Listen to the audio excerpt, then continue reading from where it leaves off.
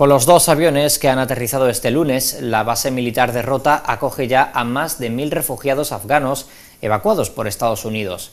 Permanecerán en la instalación no más de 10 días. El alcalde de la localidad gaditana ha explicado cómo se está llevando a cabo el operativo, un dispositivo en el que los vecinos se han volcado mostrando la solidaridad del pueblo.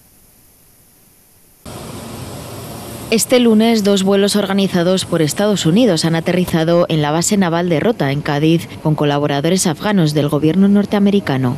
Así ya son cinco los vuelos que han llegado a esta base militar estadounidense después de otros dos que aterrizaron el viernes y otro más el domingo. Todo ello tras un acuerdo sellado entre los presidentes de ambos países, Pedro Sánchez y Joe Biden, para que Estados Unidos pudiese utilizar sus bases en España para canalizar a parte de sus evacuados de Afganistán.